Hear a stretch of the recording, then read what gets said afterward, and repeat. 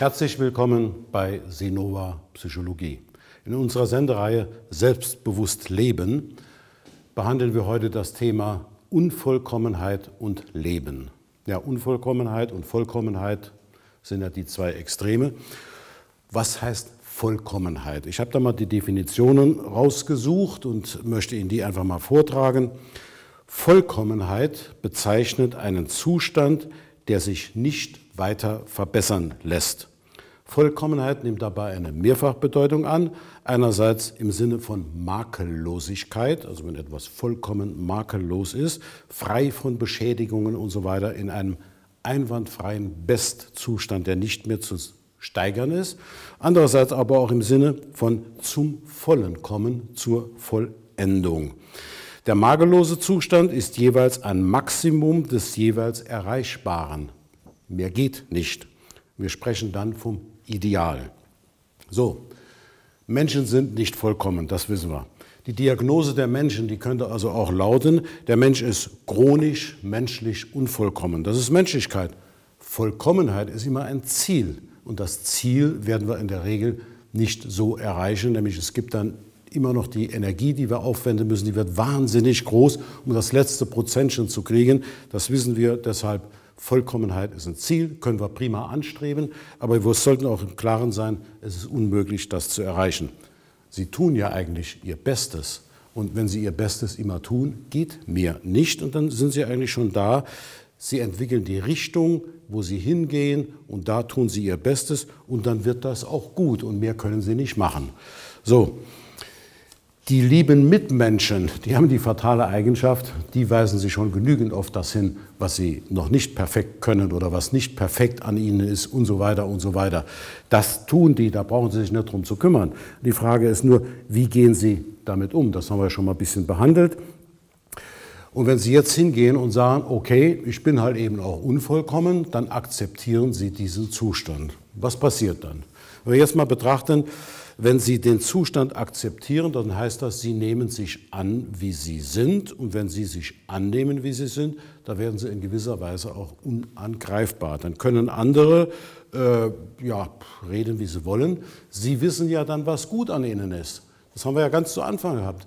Bin ich gut? Ja, Sie wissen dann, was gut ist. Und da können die anderen sagen, was sie wollen. Sie werden nicht mehr angreifbar. Und das ist doch eigentlich ein schöner Zustand, nämlich damit steigt auch ihr Selbstwertgefühl. Und das Selbstwertgefühl wollen wir ja haben, dass wir uns da mit identifizieren und sagen, so ist es. Und dann wird das Leben viel leichter und wir erreichen auch viel mehr. Das werden Sie auch feststellen. Sie können auch zum Wohl anderer damit beitragen, nämlich wenn Sie in sich ruhen, das strahlen Sie aus, da brauchen Sie gar nichts Besonderes zu tun. Die anderen orientieren sich dabei an Ihnen und äh, ja, das ist doch eigentlich eine gute Sache. Und ich möchte Ihnen noch was sagen.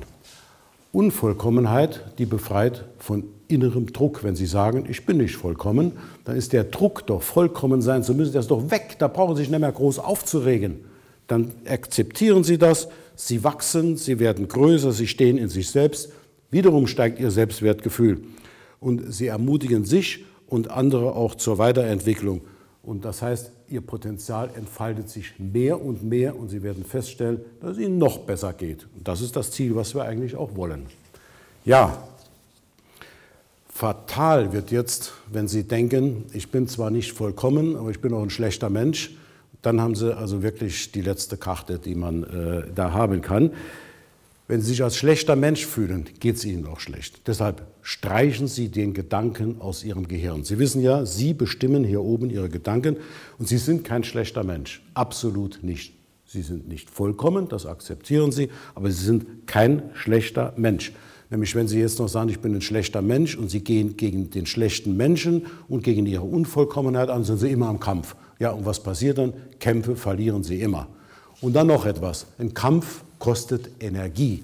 Das ist Energie, die Sie also für Ihr Leben brauchen, die geht verloren, die haben Sie nicht mehr, Sie sind ausgepowert, weil Sie immer gegen den Zustand ankämpfen. Das bringt Ihnen nichts und das tut Ihnen letztendlich auch nicht gut. Und es entstehen dann auch Ängste, die sie also auch nicht brauchen können. Und ähm, ja, die, die, verlorene Energie, der trauern sie dann letztendlich dann auch nach. Und das tut ihnen auch nicht gut. Ich möchte mal noch zu dem Punkt Fehler kommen. Ja, Fehler machen wir alle. Also ein Mensch, der keine Fehler macht, den gibt es nicht. Ich auch nicht. Ich mache auch Fehler. Die Fehler sind unterschiedlich. Nur über eines sollten wir im Klaren sein. Unsere Fehler gehören zum Leben mit dazu.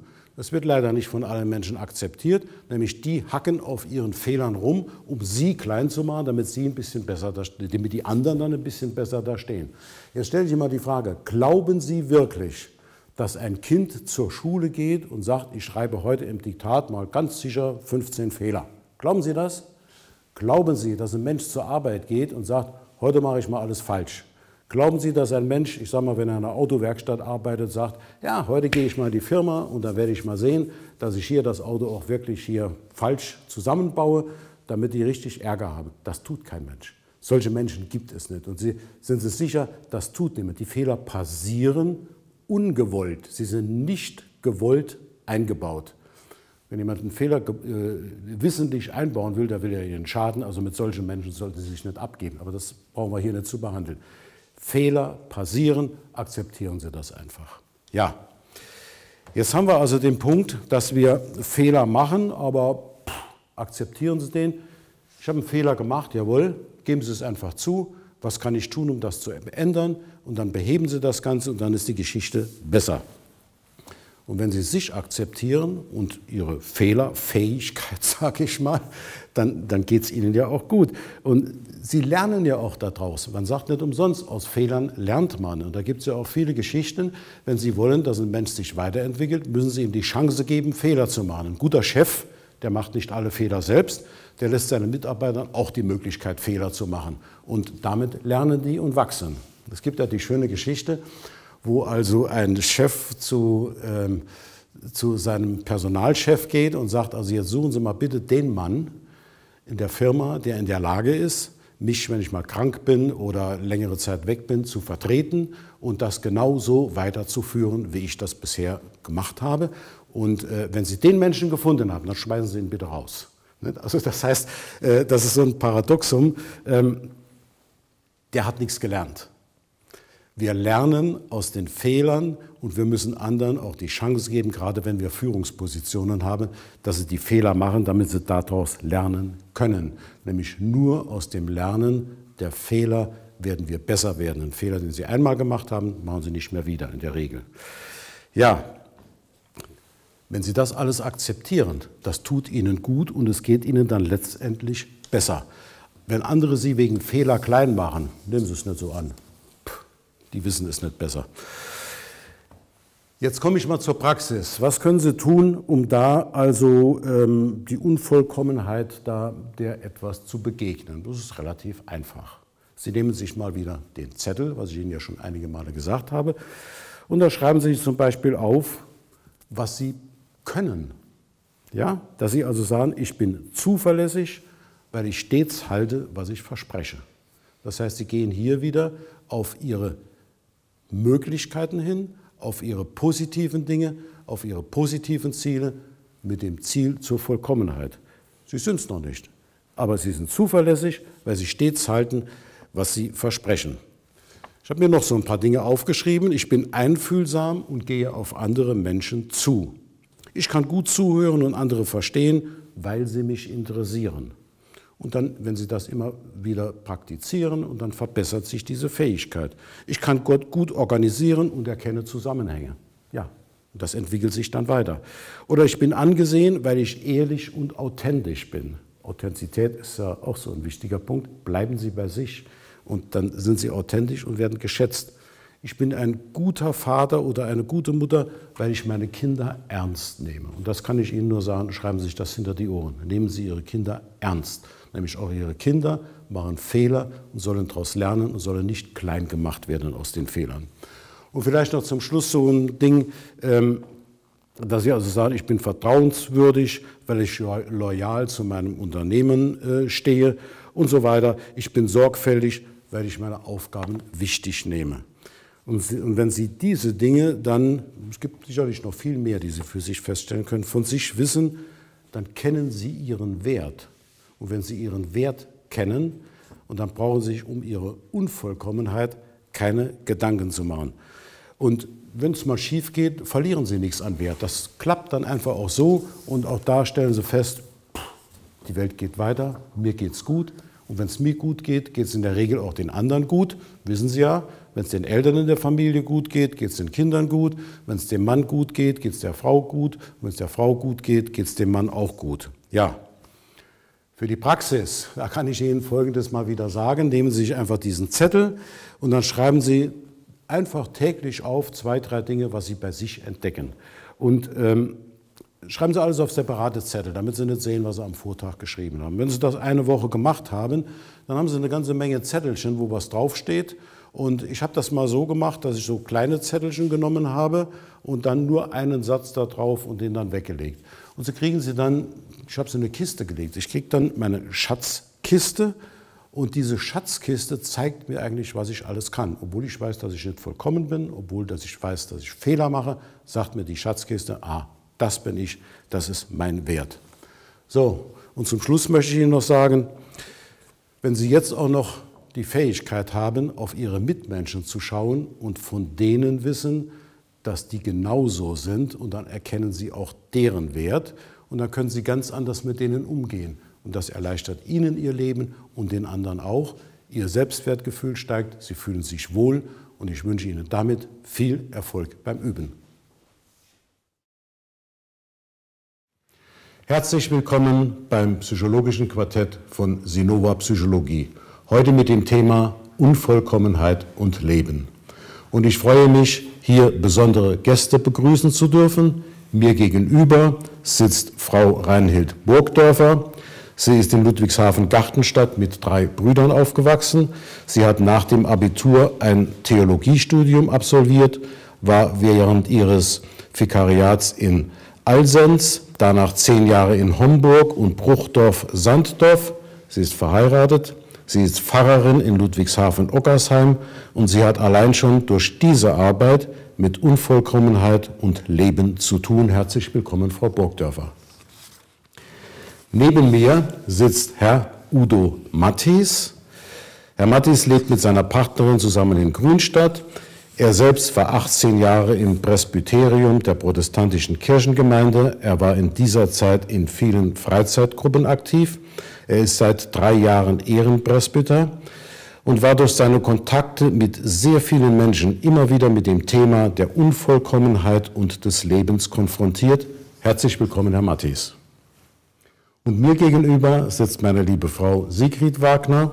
Sie ist Persönlichkeits- und Ermutigungstrainerin. Wir nennen das in der Individualpsychologie Encouraging-Trainerin. Und sie bietet zu den hier behandelten Themen in Kleingruppen Seminare an. Sie ist ebenfalls psychologische Beraterin und ich freue mich, mit dir diese Sendung gestalten zu dürfen, Sigi. Ja, der Bereich Unvollkommenheit und Leben. Und ich möchte noch mal ganz kurz die Definition von Vollkommenheit hier vortragen. Vollkommenheit ist eigentlich ein Zustand, der sich nicht mehr weiter verbessern lässt, im Sinne von vollendet. Ist ein makelloser Zustand und er ist deshalb auch ein Ideal. Und Vollkommenheit ist eigentlich immer ein Ziel. Es ist unmöglich, es zu erreichen. Und äh, wir tun unser Bestes, wir gehen in die Richtung hin und wir entwickeln uns in Richtung Vollkommenheit, letztendlich ohne sie erreichen zu können. Und die Diagnose eines Menschen könnte eigentlich lauten, er ist chronisch menschlich unvollkommen. Herr Matthies, Unvollkommenheit und Leben. Was sagen Sie denn dazu? Im Grunde haben Sie ja in der Kürze der Zeit fast alles erwähnt. Ne? Oh. Die Vollkommenheit natürlich, ein Ziel, das man anstrebt, wohl wissend, dass man es nicht erreichen kann.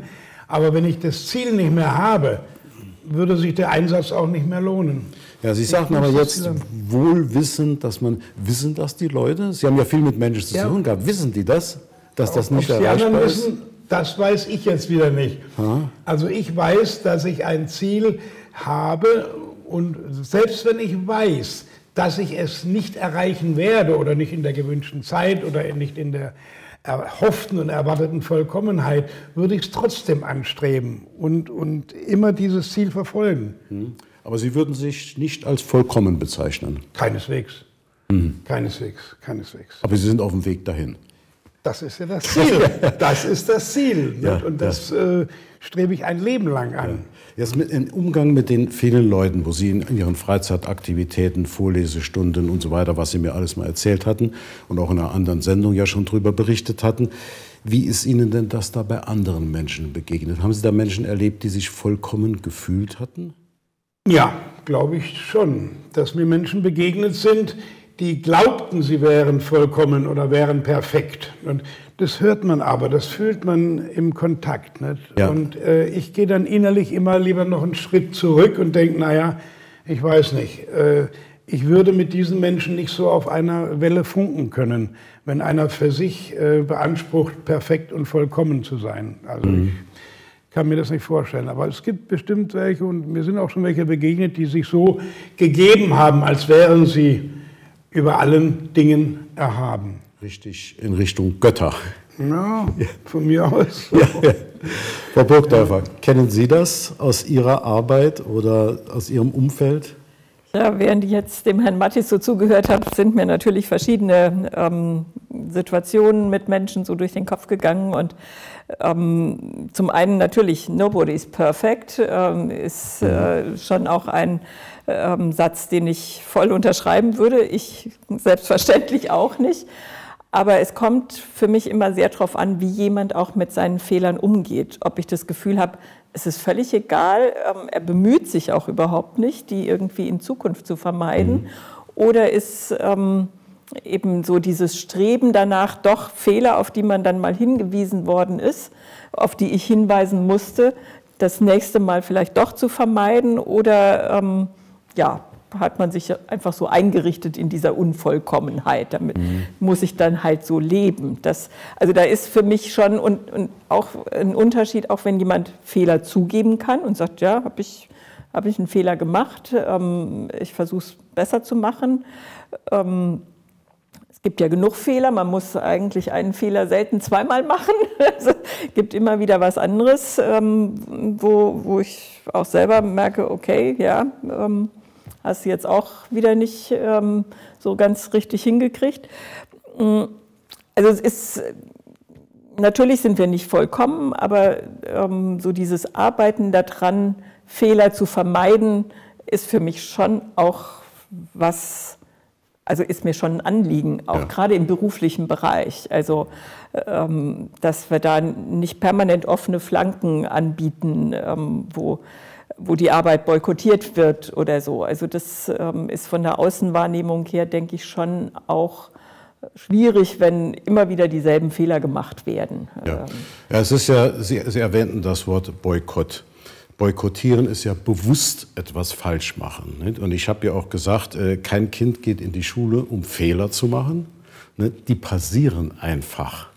Ja, und in dem Moment, wo also etwas bewusst dann falsch gemacht wird, auch in einer Firma oder im Zusammenleben mit Menschen, im, im Verein oder was weiß ich, in einer Gemeinschaft, wo etwas bewusst dann falsch gemacht wird, da geht es in Boykott über. Sigi, Boykott. Kennst du das oder ist, wie, wie begegnet dir das denn? Also, Boykott ist mir eigentlich noch nicht begegnet. Boykott nicht. Nein. Ja. Hm? Aber die Unvollkommenheit wohl? Die Unvollkommenheit wohl. Und ich denke, äh, was Sie gerade gesagt haben, wenn, wenn man einen Fehler zugibt, dann ist man schon auf dem richtigen Weg in Richtung Vollkommenheit. Ja. Ja? Wenn jemand in der Lage ist, Fehler zuzugeben. Ich habe viele Menschen getroffen, die an nichts schuld. Das sind immer die anderen schuld. Also ja, genau, das sind die anderen schuld. Die diese Erkenntnis haben, dass sie auch einen Anteil an all den Dingen haben. Mhm. Ja? Und in meinem Training gibt es diesen, diesen Satz, jeder gibt immer sein Bestes. Ja, das, was er in dem Moment gerade kann. Mhm. Also auch wenn jemand äh, boykottiert oder sich schlecht verhält, mehr, mehr kann er in dem Moment nicht, weil, weil er von seiner Entwicklung halt noch nicht so weit ist. Mhm. Jetzt gibt es ja auch den Punkt, dass... Ähm wir immer wieder auf unsere Mängel hingewiesen werden. Wir sind in einer Gesellschaft, wie ich schon gesagt habe, ist fehlerbezogen und so weiter. Es wird auf die Mängel hingewiesen. Und warum passiert das, Herr Matthias? Warum wird auf die Mängel hingewiesen? Vielleicht will sich der, vielleicht will sich das Gegenüber, der mich auf meine Fehler hinweist, sich damit in ein besseres Licht drücken, in eine bessere Position bringen. Mhm. Wobei ich persönlich überhaupt keine Probleme habe, Fehler einzugestehen, Fehler zuzugeben und aus den Fehlern, aus der Schwäche eine Stärke zu machen. Das äh, macht mich innerlich zufrieden, wenn ich einen Fehler erkenne und den zugegeben, zugeben kann, den eingestehe, dann äh, diese Einsicht, die macht mich stärker und das tut mir gut. Sie werden als, menschlicher, ne? Ja, als, als den Fehler in mich hineinzufressen oder den zu ignorieren, nicht einzugestehen oder nicht zuzugeben. Nicht? Oder übertünchen. Nee, ich habe einen Fehler, den sehe ich ein, ich versuche es besser zu machen in der Zukunft und das macht mich innerlich stärker. Ja. Und dann gibt es ja noch so hartgesottene Genossen, die dann wieder besseres Wissen dabei bleiben. Wie so ein Kind in der Trotzphase. Ja, gut, okay, aber das ist nicht nur eine kindliche Eigenschaft. Ich glaube, das finden wir in allen Altersgruppen und in allen äh, äh, Lebenslagen immer wieder. Ja, ja, der, der Trotz, das nicht zugeben, aber das ist keine Stärke, das ist eher eine Schwäche, eine wenn einer einen ja. Fehler nicht zugibt. Mhm, ja, jetzt ähm, sagt man ja, äh, wenn ich Fehler erkennen kann oder meine Unvollkommenheit erkennen kann, äh, Frau Burgdörfer, ähm, wie weit geht denn da die Bereitschaft, das zuzugeben? Man macht sich ja, weil gerade gesagt, dadurch auch menschlich. Ja, das finde ich auch. Also das hat für uns auch ja, theologisch dieses Wort Gnade, also auch gnädig mit den Unvollkommenheiten meiner Umwelt umzugehen und mit meinen auch. Darf ich auch mhm. gnädig sein, wenn ich Fehler mache. Mhm. Ähm, aber äh, es ist, ja, es kommt halt wirklich darauf an, bin ich bereit daraus zu lernen oder ähm, nehme ich einfach für mich das so hin und ähm, ruhe mich darauf aus, dass die Menschen mit meinen Unvollkommenheiten leben müssen ähm, und ich mich nicht bemühe, es irgendwie anders auszubauen. Zum anderen ist mir eingefallen, dass wir heute eigentlich, gerade auch in der Pädagogik, eigentlich nicht mehr auf die Unvollkommenheiten versuchen hinzuweisen, sondern eben auf die Ressourcen, äh, die jeder Mensch auch hat, mhm. ähm, um eben ähm, dieses negative ähm, Gefühl erstmal unvollkommen zu sein, das ist ja jetzt nicht unbedingt ein Glücksgefühl, was damit ausgelöst wird, ähm, zu vermeiden und ähm, zu gucken, wo sind aber die, die Ressourcen. Jedes, wir hatten es vorhin ja auch da, davon, also jedes Kind hat Möglichkeiten, äh, die ich entwickeln kann. Wenn ich nicht ähm, eine genaue Vorstellung habe, was ist denn eigentlich Vollkommenheit für diesen Menschen. Hm? Äh, das kann ich ja nicht machen. Da würde ich auch sagen, da ist es, müsste es auch ein Bilderverbot geben über die Vollkommenheit dieses Menschen, dem ich jetzt mhm. gerade gegenüber ähm, sitze oder stehe. Ähm, wenn ich den Eindruck habe, da ist ein Defizit, ähm, liegt das ja vielleicht auch an, an mir mhm. Ähm, dass, dass ich da ähm, was erwarte, was ich von diesem Menschen nicht erwarten sollte, weil ja. er andere Ressourcen hat. Sigi, wie ist das mit den Erwartungen an die anderen? Ja, wir können ohne Erwartungen ja nicht leben. Also wir haben immer irgendwelche Erwartungen. Äh, das Leben ist schöner, wenn man die Erwartungen an andere Menschen etwas nach unten Enttäuschungen zu vermeiden.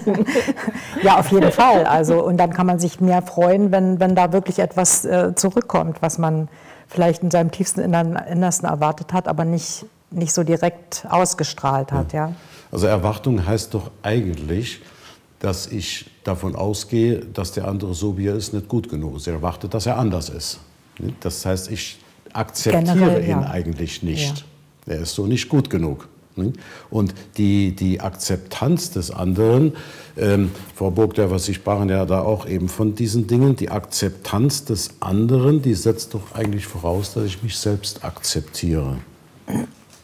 Auf jeden Fall. Also ich meine, nicht umsonst heißt es, liebe deinen Nächsten wie dich selbst. Und das mhm. sich selbst lieben, das ist ja auch eine durchaus schwierige Lebensaufgabe, dass ja. äh, sich auch ich mich selbst mit meinen Unvollkommenheiten äh, akzeptieren und das lieben lernen, wenn ich dem Bild, was ich vielleicht auch mal irgendwann von mir entwickelt habe, nicht entsprechen kann. Und ähm, das auf jeden Fall ist äh, mhm. eine Sache irgendwie immer von ähm, Geben und Nehmen auch, von, von ähm, ja, äh, ich hatte natürlich auch mal geschaut, was sagt denn die Bibel zu Vollkommenheit und Unvollkommenheit und über alles zieht an das Band der Liebe, das ist das Band der Vollkommenheit. Also wenn ich jemand liebevoll anblicken kann, dann kann ich mit den Fehlern auch besser umgehen und mhm. ähm, damit einfach ja, leben und arbeite mich nicht an etwas ab, was ich eigentlich nicht ändern kann. Also ja. entweder liebe ich diesen anderen Menschen oder ich werfe ihm permanent explizit oder auch eben nonverbal seine Unvollkommenheit vor. Und das ist sicher der Tod der Liebe, äh, ja. über kurz oder lang. Wenn ich den Punkt mal aufgreife, Herr Mattis, ich könnte ja auch sagen, wenn ich einen anderen Menschen betrachte, ich weiß ja nicht, wo der steht wie weit der jeder Mensch entwickelt sich ja anders. Wir entwickeln uns ja mit anderer Geschwindigkeit. Ist das nicht so etwas dann, wie dass ich den auf seinem Weg annehme, den anderen? Auch wenn ich denke, naja, bei dem mangelt es ja auch noch ein bisschen hier und da. Ich persönlich äh, habe die Erfahrung gemacht, dass ich ganz gut damit fahre. Einem Menschen, der mir neu begegnet. Andere mögen es anders sehen bei 100 Prozent. Der Mensch ist für mich, naja, mit das Gänsefüßchen vollkommen, aber ohne negative Vorurteile. Ja. Ich habe den Menschen mit positiven Aspekten jetzt äh, begegnet. Ich sehe ihn und, und der ist für mich im Moment fehlerfrei. Das hört sich ein bisschen kompliziert an. Und er sägt im Laufe der Zeit, wenn man so will, wenn ich ihn länger kennenlerne, an seinem eigenen Stuhl und die Defizite kristallisieren sich heraus. Es gibt andere, die sagen, nee, bei mir ist der Mensch null, der muss sich erstmal seine, seine Punkte sammeln und seine Aha. Vorteile erwirtschaften, um bei mir Wohlgefallen zu finden, um bei mir anzukommen. Nein, ich sehe ihn erstmal 100 Prozent und dann stelle ich fest, naja, hier ist es ein bisschen, aber damit kann ich leben, damit kann der leben und so weiter. Nicht? Aber im ersten Moment bin ich diesem Mensch wohlgesonnen und positiv gegenüber eingestellt. Das ist ja ähnlich wie in der Verliebtheit wenn wir unseren Partner, und das ist ja auch so ein Beispiel, den annehmen, der ist ja auch nicht vollkommen. Sigi, ich nehme nicht an, dass du mich als vollkommen erlebst. Ne? Danke. Ich erlebe auch so diese Dinge. Aber das wäre doch der Bereich, wo man sagen kann, da nimmt man den an. Warum kann ich das nicht im anderen Leben machen? Im Umgang, Im Umgang mit. Tue ich doch. Ja. Ich Persönlich. Ja, Sie persönlich, ja, ja. ja, ja. Aber warum gibt es so viele Schwierigkeiten? Mit, mit der Liebe oder so. Genau so. Im ersten Moment alles prima. Und dass die Zeit wird das zeigen, wie sich das nach unten von mir aus entwickelt, um dann festzustellen, nee, also das ist doch nichts für mich, diese Freundschaft. Es muss nicht die Beziehung sein auf äh, geschlechtlicher Ebene, mhm. sondern überhaupt im Zusammenhang. Es gibt Menschen, mit denen ich äh, gelernt habe, nicht mehr klarkommen zu können. Mit denen, mhm. Und dann distanziere ich mich. Ja, gut, man muss ja auch nicht mit jedem ja. Menschen klarkommen. Das ist ja kein Gebot. Da, es gibt auch Menschen, da bleibe ich dann besser weg von. Ja. Ne? Das ich habe ein gutes Beispiel. Ja. Äh, ich gehe regelmäßig wandern und ich hatte vor Jahren in der Wandergruppe eine, eine Mitwanderin, der bin ich völlig unvoreingenommen gegenüber entgegengetreten und im Laufe der Monate hat sich herausgestellt, dass ich mit der Frau nie und nimmer klarkommen würde. Weder privat noch freundschaftlich und habe mich distanziert und die ist jetzt mittlerweile auch gar nicht mehr in der Gruppe dabei. Äh, die hat sich selber eliminiert, wenn man so mhm. will. Ne? Ja. Die kam nicht an, also ich war nicht der Einzige, der das so empfunden hat. Ne? Mhm. Aber ich habe dann auch zu meiner Lebensgefährtin gesagt, Rita, also mit der komme ich nicht klar. Das mhm. tut mir leid, also ich möchte da auch privat nichts anfangen. Ja, gut, das sind dann klare Aussagen. Und dann haben wir ja. uns auch distanziert. Mhm. Ja. Sigi, jetzt hast du ja auch Gruppen, wo also auch Leute kommen, die unvollkommen sind. Manche fühlen sich so. Gibt es auch welche, die sich nicht so fühlen? Habe ich persönlich noch nicht erlebt. Also vielleicht okay. im, im, im, Arbeitsbereich, ja, aber in meinen Gruppen. Ja. Ist da ein Unterschied zwischen den Gruppen und dem Arbeitsbereich? Ja, natürlich. Also Wo die, liegt der denn da drin? Die, die Menschen, die in meine Gruppen kommen, die, die möchten an sich etwas tun. Mhm. Die möchten sich verändern, die möchten vollkommener werden. Und im Arbeitsbereich ist, äh, da gibt es doch ganz viele Probleme und Schwierigkeiten. Also mhm. Ja gut, ich meine, das weiß ich ja auch. Äh, Mobbing und Zoff und so weiter ja, ist ja üblich. Ja. Und ähm, Krankenschwestern sind da ja nicht frei von, das mal vorsichtig zu also, sagen. Aber wie ist das jetzt in der Gruppe, wenn ich da nochmal nachhake? In der Gruppe, die Leute kommen, wissen, dass vielleicht was bei ihnen auch nicht vollkommen ist, sind sie aber auch bereit, das von den anderen zu akzeptieren? Mit der Zeit schon. Also in dem Moment, wo ich lerne, meine eigene Unvollkommenheit anzunehmen, äh, geht das auch auf die anderen. Da geht's dann, das, dann wird also diese Akzeptanz äh, im Grunde aufbereitet. Ja, das ist der Sinn des Trainings, dass die Menschen da lernen, wie, wie das geht. Ja. Jetzt könnte ich auch sagen, wenn ich ähm, mich annehme, wie ich bin, fällt es ja auch wesentlich leichter, den anderen anzunehmen, wie er ist. Oder erleben Sie das? Wie erleben Sie das, Frau Burgdörfer? Ja, also sicher. Es ist natürlich immer mit Fallstricken verbunden. Mhm. Selbst wenn man das als Programm eigentlich so im Kopf hat, ich ähm, weiß, was ich kann und was ich auch nicht kann. Also nehme ich das auch bei anderen so an und akzeptiere das. Ähm, unser Leben ist ja so vielfältig. Ich kann nicht ein, annehmen, dass jemand in jedem Bereich ähm, ein Spezialist ist und perfekt. Ähm, und dann kommt es halt drauf an, ähm, ist das, was wir jetzt zusammen an Projekt oder an Aufgabe zu bewältigen haben, sind da unsere Kompetenzen ähm, so kompatibel, dass das halbwegs ein äh, produktives Zusammenarbeiten ist? Oder ähm, muss ich sagen, nee, diese Aufgabe mit dem Menschen, das funktioniert nicht. Mhm. Ähm, da nehmen wir besser Abstand von. Ähm, jemand anders kommt vielleicht mit der Person äh, in dem Bereich gut hin, aber mit mir ähm, funktioniert es nicht. Also ich meine, das ist ja auch unser Glück, dass, ähm, sagen wir mal ganz salopp, die Geschmäcker verschieden sind. Also ja. dass doch ähm, in der Regel jeder Mensch für irgendwen liebenswert ist. Mhm. Das mag ich nicht immer nachvollziehen können, aber ähm, das ist ja Gott sei Dank so, dass ich da auch nicht alles ähm, sehen und ähm, nee. wissen muss, nee, nee, was, was jetzt vielleicht doch noch an, an ähm, Möglichkeiten und an Potenzialen da in jemandem steckt, der für mich erstmal ja so ein bisschen äh, das Bedürfnis auf Distanz zu gehen ja. auslöst. Ähm. Wir wissen ja, jeder Pott hat seinen Deckel. Ne?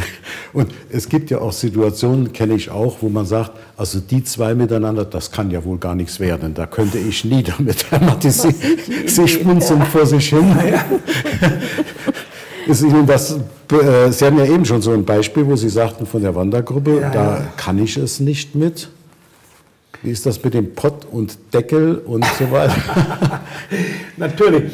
Äh, es gibt mit Sicherheit Menschen oder Beziehungen oder, oder Paarungen, wo man sich hinterher sagt, nee, also die zwei, das ist ja unwahrscheinlich. Aber warum denn nicht? Wenn sie sich verstehen, wenn sie sich vertragen und wenn jeder mit den Fehlern oder mit den Defiziten des anderen umgehen kann, warum denn nicht? Ja. Und der Deckel kann ja schließen. Und wenn da ein kleines Löchlein drin ist, wo ein bisschen Luft neben rausgeht, dann erfüllt der Deckel im Topf oder auf dem Topf trotzdem seinen äh, Zweck, finde mhm. ich. Und, und, wir wissen ja, wir haben ja vorhin gesagt, also perfekt ist keiner, man strebt es an. Und, und gerade in einer Beziehung äh, ist es doch gut, wenn man die Fehler des anderen sieht, sie erkennt und sich damit abfindet und sagt, okay, die Fehler hat er oder sie und damit äh, komme ich trotzdem klar. Ja, vielleicht noch schätzen lernen. Es, sind es ist ja wie die Waagschale. Es gibt ja äh, andere Aspekte, die, sind, die, die, wiegen viel schwerer und viel intensiver als die, die, eine oder kleine andere Nachlässigkeit, wie Zahnpastatube nicht zumachen oder den Toilettendeckel nicht zu schließen. Das sind so, das sind so banale Dinge. Ne? Der eine oder andere mag sich darüber aufregen, aber im Gesamt, äh, im Komplex äh, ist das unterschwellig. Die treiben aber manchmal die Leute ganz schön auf die Palme. Die, Natürlich. Die Zahnpastatube. Regen sich gnadenlos aus, weil immer die Zahnpastatube offen ja, ja. liegen bleibt. Stellvertreter kriegt ja. Schauplatz. Dann, aber ich denke, hier drin äh, äh, pochen ganz andere Elemente und die sind viel wichtiger. Und dann verschwindet die offene Zahnpastatube oder der nicht geschlossene Klodeckel in ein Nichts. Ja, ja, gut, das sind ja auch dann, wie ich schon gerade sagte, äh, Stellvertreterdinge. Und Sigi, der Kampf gegen sich selbst, gegen die eigene Unvollkommenheit, kennst du den? Ja, natürlich. Ich denke, jeder kennt den. Jeder kennt den. Du nicht? Ja. ich bin jetzt nicht so vermessen zu sagen, nein. Aber ähm, ähm, der Kampf gegen sich selbst auf der Arbeit, gibt es das da auch? Oder im Privatleben, in deinen Kursen und so weiter? Wie, wie läuft das da ab? Ja, natürlich. Also wenn, wenn, wenn ich jetzt schon wieder einen Fehler gemacht habe, den ich schon so oft gemacht habe und dann wieder dastehe und mich schlecht fühle, ja, und denke, mhm. schon wieder bist du da in diese Falle getappt oder ja. so. Dann ist es wichtig, äh, sich zu sagen, ich, das ist halt jetzt passiert, ich, ich liebe mich so, wie ich bin mhm. und ich äh, entwickle mich und das nächste Mal wird es anders. Und, und genauso gehe ich mit den anderen um. Ja, und die Alternative ist, sich weiter darauf aufzuregen. Wie kann ich nur und so ja, weiter. Ja, man kann sich weiter halt aufregen, sich das Leben äh, schwer machen. Ja. ja. Es ist ja auch so, wenn ich Kampf gegen mich selbst führe, ne, das kostet Kraft und Energie und bringt mir eigentlich auch nichts. Ne? Sie schmunzeln. Ja, ich überlege gerade, wie fehlertolerant ist unsere Arbeitswelt jetzt mhm. gerade auch. Ne? Mhm. Das ähm, macht mir persönlich dann auch manchmal wirklich Sorge, gerade auch in diesem ganzen digitalisierten Bereich. Mhm. Also wenn man da so sieht, welche Konsequenzen es haben kann, wenn ich hier ein Häkchen setze oder da ein Häkchen nicht setze. Also da denke ich mal, ist da noch genug Fehlertoleranz drin, um auch eben mal im Moment unkonzentriert zu sein oder ähm, eben auch in, in, im Krankenhaus bei OPs oder was auch immer. Also da, ähm, da wird es ja dann schon schwierig, ne? wenn der mhm. Arzt dann hinterher sagt, ja, okay, ich habe halt einen Fehler gemacht, aber der Patient ist tot. Ne? Ja, ja. Das, ähm, also da gibt es schon auch Bereiche, wo das ja mit der Unvollkommenheit, also wo wir natürlich damit rechnen müssen, mhm. auch das sind Menschen, aber wir erwarten manchmal ähm, eben doch Vollkommenheit ja. im, in den Kompetenzen, die wir jetzt gerade da abrufen wollen. Hm? Gut, es ist ja dann noch die Frage, wo ist das gerechtfertigt? Sie erwähnten das Beispiel Chirurg. Und bei dem Chirurg, da, der ist, ist ja nicht alleine. Da ist ja ein Umfeld da und ich darf da eigentlich erwarten, dass das funktioniert. Ein Restrisiko gibt es immer, siehe Atomkraft. Wird alles getan und trotzdem ist ein Restrisiko da.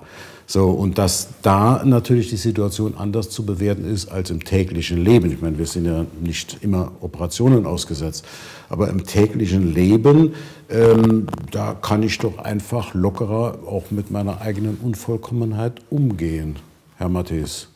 Ich schon. Sie schon. Das heißt, Sie erleben aber auch andere. Aber die Gesellschaft, und da spielt jetzt in der Wirtschaft natürlich die Ellenbogentaktik eine große Rolle.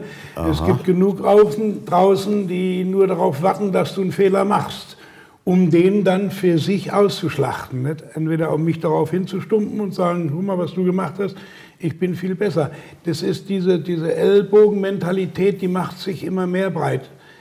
Warum tun die Menschen das?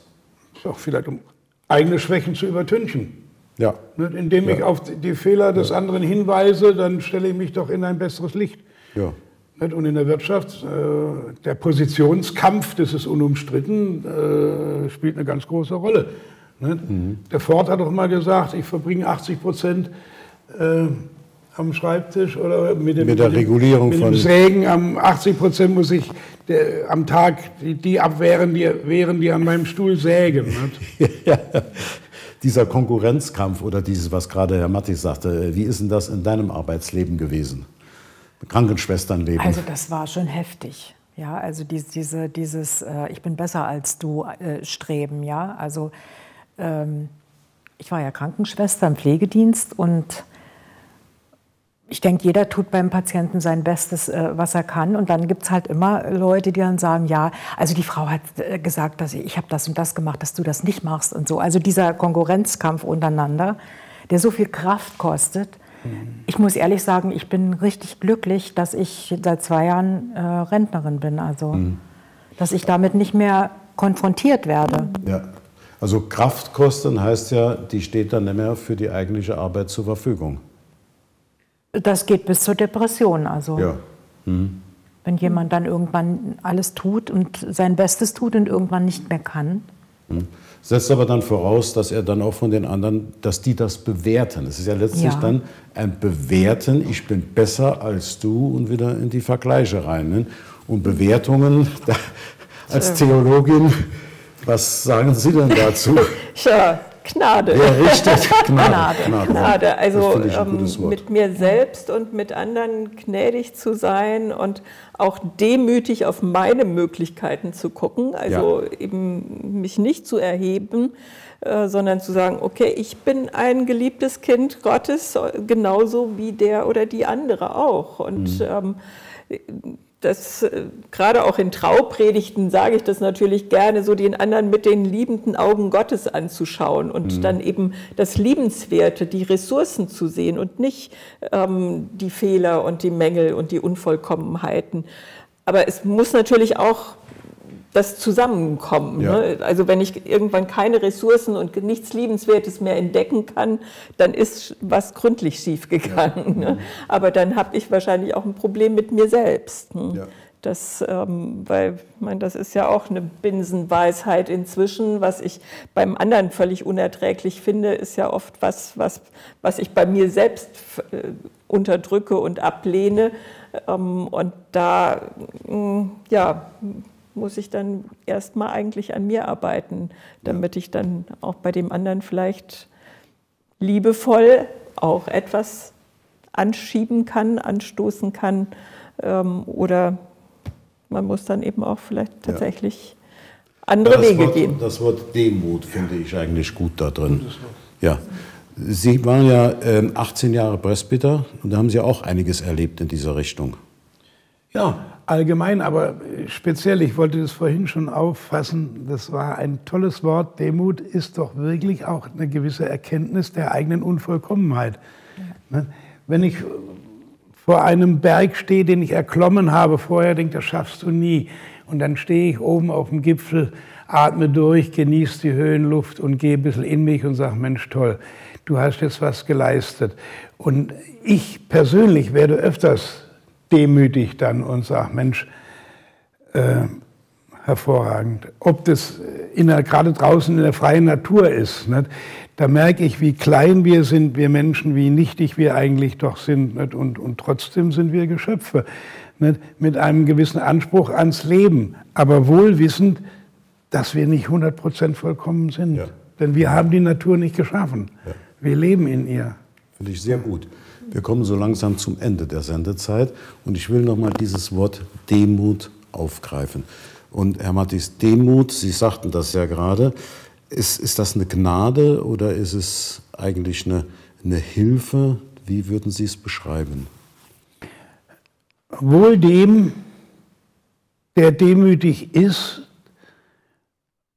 und damit umzugehen weiß, der dieses Wort Demut auch leben kann der ist gut beraten. Frau Burgdorfer, wie sehen Sie das denn? Ja, also ich denke, als Frau ist es schon auch ein zwiespältiger Begriff, weil ähm, natürlich auch in der Geschichte Frauen oft gedemütigt worden sind und klein gehalten worden sind und selber ein sehr ähm, von sich selbst schlechtes äh, Selbstbild äh, hatten und eingeimpft bekamen. Also da äh, ist manchmal auch die Situation, Frauen erstmal zu ermutigen, auch Stolz zu zeigen. Also das war in meiner Familie ein, also stolz zu sein, das ging gar nicht. Hm? Also das ist ja so ein bisschen äh, der Gegenpart dazu, auch mal auf sich stolz sein zu können. Ähm, und da gibt es auch Frauen, die man dazu ermutigen muss. Ja. Und bei anderen ist es mehr dann, jetzt ne, bleib mal auf dem Teppich, ähm, mhm. üb mal ein bisschen die Demut. Ähm, ich denke, das ist auch sehr situationsabhängig und abhängig von dem Menschen, den ich mir gegenüber habe. Ja. Sigi, du hast das Schlusswort, Demut. Es ist eine, eine Erleichterung. Eine Demut Hilfe. ist ein Demut ist für mich ein sehr berührender Begriff, mhm. der oft falsch verstanden wird. Also gerade von Menschen, die jetzt Atheisten sind, wird der Begriff Demut oft falsch verstanden. Also das ist für mich so ein großes Wort. Ich bemühe mich, demütig zu sein. Hm. Also es ist auch ein Weg dann. Hilft er? Ja. Okay. Auf jeden Fall. Gutes Schlusswort. Ich möchte mich bedanken bei Ihnen, dass Sie hier Ihre, ähm, sich selbst und Ihre Eindrücke und Ihre Erfahrungen aus Ihrem Leben eingebracht haben und hier so wundervolle Beiträge geleistet haben für unsere Sendung. Und bei den Zuschauern bedanke ich mich, dass Sie Gast bei uns waren und verabschiede mich bis zum nächsten Mal. Vielen Dank.